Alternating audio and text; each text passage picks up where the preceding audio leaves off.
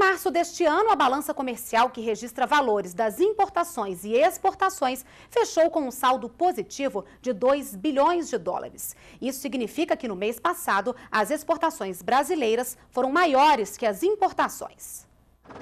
As exportações bateram recorde no mês de março e fecharam com 20 bilhões e 900 milhões de dólares, um aumento de 3,5% em relação ao mesmo período do ano passado.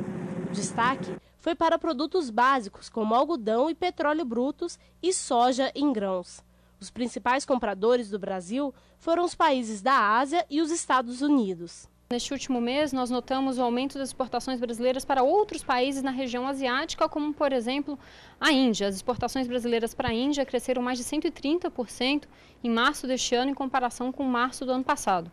Outros países de destaque na região asiática são Filipinas e Taiwan, e produtos são os mais, enfim, diferenciados. As importações também foram recorde em março. Fecharam o mês com 18 bilhões e 900 milhões de dólares. Esse valor representa um aumento de 1,7% em comparação com o mesmo período do ano passado. Os produtos mais comprados pelos brasileiros foram bebidas, tabaco, remédios, roupas, alimentos e automóveis.